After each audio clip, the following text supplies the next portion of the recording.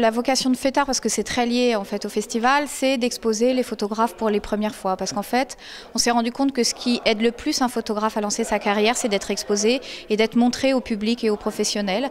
Et paradoxalement, c'est ce qui est de plus compliqué pour un jeune photographe. En fait, un peu comme un jeune diplômé, c'est difficile pour lui de trouver un premier emploi. Bah, c'est un peu la même chose pour le photographe.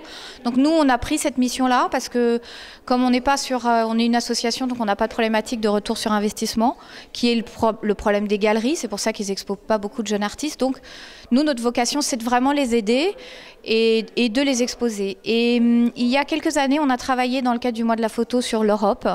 Et on a fait une première exposition autour de l'Europe et ça nous a passionnés. On a trouvé ça très intéressant et surtout, c'est pareil, on s'est rendu compte qu'il y avait très peu de liens entre les photographes européens, qu'il n'y avait aucun endroit où on pouvait trouver un listing de tous les festivals, que si euh, on avait envie d'aller exposer en Norvège, eh ben, c'était compliqué, il fallait prendre un annuaire. Enfin, bref, que ce lien-là n'existait pas. Donc voilà, on a assemblé un peu les deux, les jeunes photographes euh, et l'Europe. Et cette année, nous sommes à notre euh, deuxième édition. Ce qui est important pour nous, c'est de montrer justement la, la, je dirais à quel point la, photographie est polymorphe et à quel point elle, elle, est plurielle et il y a plein de styles différents et c'est ça qui est très très intéressant pour nous à montrer. On essaye de garder une ligne, mais on essaye d'être assez représentatif de tout ce qui peut se faire.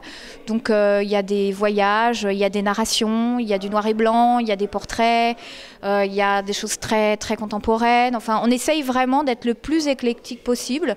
Déjà parce qu'on s'adresse au grand public et que euh, moi j'ai vraiment envie que quand vraiment on, passe des heures dans des expositions avec du grand public, on se rend compte que euh, ce qui nous plaît à nous, peut-être professionnel, et 1% de gens un peu euh, qu'on l'œil, c'est pas forcément ce qui plaît au grand public. Et moi, j'ai envie de m'adresser à tout le monde parce que on est une association, on est dans une mission associative, on n'a pas euh, pour vocation de faire de la pédagogie euh, pointue pour, euh, du public. Voilà, nous c'est gratuit. Enfin bon, on a un fonctionnement qui est un peu, on va dire, atypique. En fait, on fait tout le temps des appels à candidature, c'est-à-dire que même sur nos expositions classiques, on va dire, on fait des appels à candidature qu'on envoie par internet, on reçoit des dossiers, on fait une présélection entre nous, enfin les gens de l'association, et ensuite on compose un jury pour sélectionner les artistes. Dans le cadre du festival, il y a 27 photographes qui ont été sélectionnés à travers le jury. Il y a les invités de Christine Ollier et on a quelques invités parce qu'on a croisé quand même dans l'année quelques photographes qu'on aimait bien et donc euh, on, euh, on les a invités par, euh, voilà, par plaisir de les exposer. C'est presque pas un travail seul. C'est l'ensemble qui va créer en fait la composition de, l'exposition. C'est pas, bien sûr, il y, a, un travail. On va se dire voilà celui-là il est formidable, il est très beau, etc. Mais par exemple, si on va se retrouver avec trop de portraitistes, trop de séries sur des portraits, bah forcément il y a un moment où on va faire un choix. Et ce sera presque pas un choix sur le travail malheureusement du photographe, mais plus une vision d'ensemble.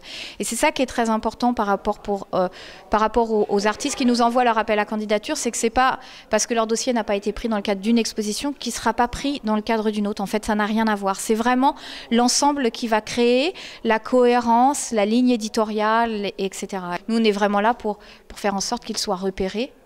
Ensuite, c'est une autre histoire.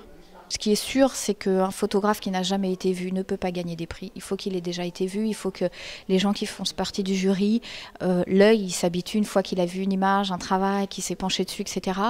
Quand vous arrivez sur une table de jury, si on a déjà vu votre travail, c'est un plus, ça c'est une évidence.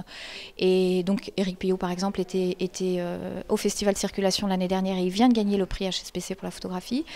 Et la personne qui a fait l'affiche l'année dernière, euh, qui est Maya Flore, qui a fait l'affiche du festival, la semaine d'après, elle, euh, enfin, elle est rentrée à l'agence Vue, elle a été prise dans une galerie quasiment immédiatement, elle est reprise par toute la presse, enfin voilà, c'est je pense que pour le coup, on a, euh, prouvé que notre mission euh, est utile et que euh, quand ils exposent avec nous, quelque part, ça apporte toujours une étape supplémentaire.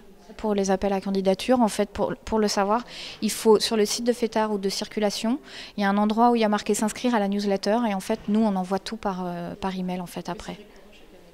C'est récurrent chaque année et surtout on fait à peu près une dizaine d'expositions par an. Donc après il y a plein d'appels à candidature.